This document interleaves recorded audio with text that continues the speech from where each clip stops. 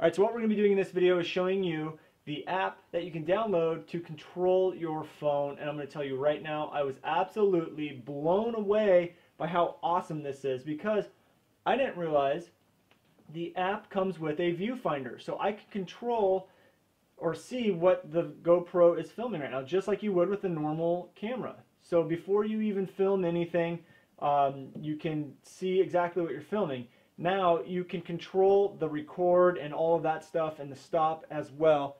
So I'm going to go right here, I'm going to push record and you can see the, the red button lit up on the GoPro and then I'm going to go ahead and stop it. And I stopped it all from my phone. Now the other thing that's really cool, if you have any experience with the GoPro, you know when you want to change settings, it's a little difficult because you have to push all these buttons and everything. But um, you can control all of it by the settings here. You can go through and control the frame rate, the video resolution, the field of view. So if you don't want wide angle, you can switch it up to the narrow, uh, medium, or narrow. So you can control everything from the app right there. You don't have to go into the GoPro to control anything, to switch the settings or anything like that. Now the other thing that's really cool is you can actually go in and watch your videos that you've already recorded. So you can use it for playback. You don't have to, you can't even do that with the, the GoPro camera itself, but you can do it with the app. It's totally awesome. It's just like having a real uh, or, or full-size video camera. I was absolutely blown away by the way it works. Now the other thing that's really cool is that this app runs off of a Wi-Fi system that the that the GoPro puts out. So the GoPro actually puts out the Wi-Fi signal and your phone connects to that signal. So you don't really need to be connected to uh, your home internet.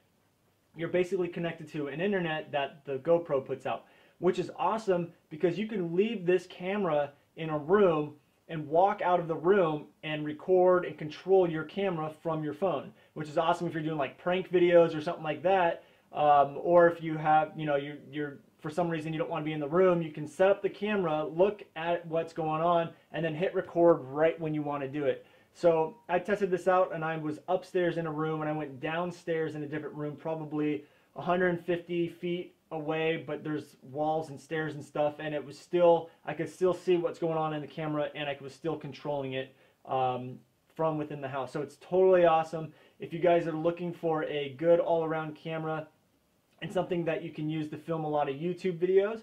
I really recommend the GoPro Hero 3 Plus. I was blown away by this app and it's completely free when you buy the, the GoPro. So uh, go ahead, check it out. We have a link below this video if you guys want to check it out and uh, we'll talk to you soon. See ya.